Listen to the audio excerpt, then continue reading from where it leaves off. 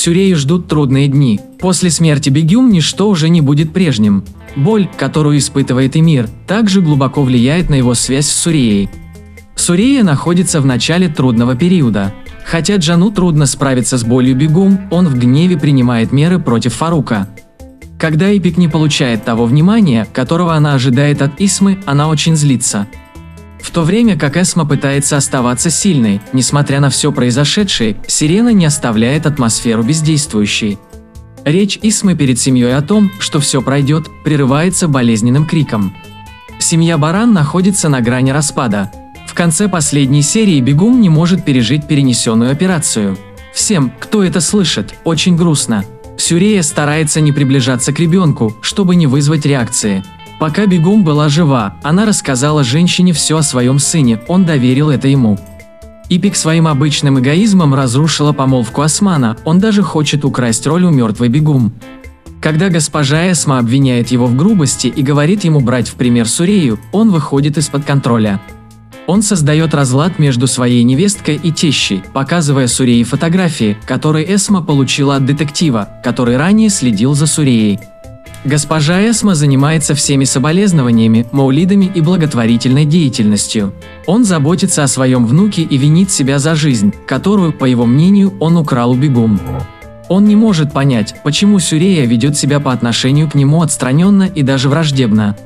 Однажды вечером, когда Сурея не выдерживает и бросает детективную историю, Эсма остается сожалеть и расстраиваться из-за того, что она сделала. Фарук тоже злится. Фикрет же не может приблизиться к Эсре, потому что не может избавиться от жены. Его тесть тоже приходит и кричит на него. Исра снова порядочная и понимающая. Ипик, напротив, воинственный и агрессивный человек. Он шутит при каждой возможности. Более того, он угрожает Фикрету, рассказывая все брату-психопату Исры. Хотя Адам продолжает оплакивать свою мать, он также не может справиться с уходом жены из дома. Он пытается обвинить во всем, что касается его матери, Дилару. Дилара говорит, что хочет с ним расстаться. Когда Адам обращается к психологу, мы узнаем, что он убил своего отчима и поэтому сидит в тюрьме.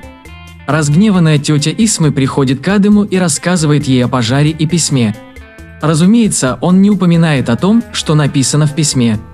Адам снова проходит обучение в Буране. Он хочет себе комнату в компании «Жизнь», он злится на баранов, которых считает ответственными за смерть Бегум. Он строит планы на неделю и едет в дом Адама. Он рассказывает свой план, когда Акиф приходит в себя, он встречает Сенем и слушает ее историю. Переживания женщины очень тяжелые. Он снимает кольца и возвращает их Акифу. Однако неделю спустя Акиф решает продолжить с того места, на котором они остановились. Кольца надеваются обратно. Сирена же уверена, что ее дочь будет измотана этой многолюдной семьей и бесконечными событиями. Он не может найти подходящее дочери домашнее поведение и постоянно ее дразнит и предостерегает – но когда ее дочь говорит ей, что она ей не мать, и приходит к ней, она идет в дом Османа, объясняет его дочери, извиняется и делает незавершенное ношение обручального кольца для молодых людей. Баде и Мюрат решили пожениться в последней серии. По настоянию Мюрата Баде сначала рассказывает женщине, которую считает своей матерью. Даже женский барабан показывает равных-равных, но молодые люди настойчивы. Он производит эффект разорвавшейся бомбы, говоря «Мы решили жениться на Баде за завтраком, где его мать собирается поговорить о семье». Все воспринимают это как упрямство или энтузиазм и противостоят этому. Сурия, которая злится на госпожу Исму и встает после завтрака, теряет сознание в своей комнате наверху. Они срочно отправляют его в больницу. Однако новости по тестам хорошие. Сурея беременна, но в этой ситуации они застревают в ситуации, когда не знают, радоваться им или грустить. Оправится ли бегум после операции? Эсма идет за своим знаменитым комплектом для помолвки. Когда с ними Сирена, происходят забавные и противоречивые моменты. Когда Сирена приехала в Турцию, она осталась с Гарипом, и они тусовались, потому что у него не было серьезных отношений. Опять же, когда женщина приближается к мужчине, он ведет себя странно, но женщина не понимает и идет к постели мужчины. Поскольку в тот момент Гариб разговаривал с Эсмой, Эсма слышит это и принимает меры. На следующий день Гариб идет и покоряет сердце Исмы. Когда Мюрат красиво объясняет Баде свою проблему и говорит ей, что он серьезен в своей любви, она соглашается, но они решают какое-то время скрывать это. Эсма узнает, что Акиф пришел и купил кольцо, когда она ходила за покупками на рынок. Он говорит с Акифом о прошлом женщины. Акиф и Сенем приходят домой и противостоят друг другу. Мужчина уходит. Как только Адам слышит, что его мать сдалась, он бежит туда. Несуществующее равновесие Адама было полностью нарушено. Он также реагирует на Дилару. Он тоже не отвечает на звонки, он тоже не идет домой. Дилара берет чемодан и отправляется в Сенем. Мужчины барана встревожены и расстроены, когда узнают, что мать Адама чуть не жажгла их собственную мать. Поскольку Ипик не считает, что это ее вина в решении мужа развестись, она видит виновником Исру. Он идет на рабочее место девушки и устраивает сцену. Он жалуется на дочь своему начальнику. К счастью, он знает своего босса Исру и не обращает внимания на слова Ипика.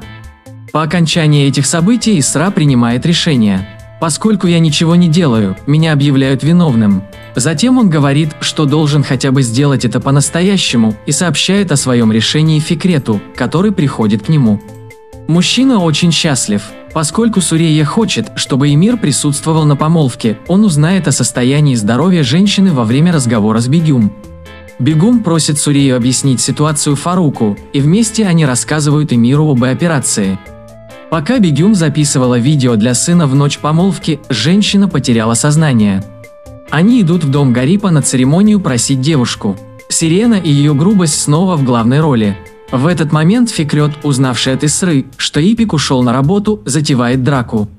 Пока они на глазах у всех говорят об Исре, измене и разводе, Эмир звонит Фаруку и сообщает ему, что они отвезли его мать в больницу. Ожидание в больнице заканчивается плохими новостями – Бегум мертва. Предложение руки и сердца Османа шокирует всех.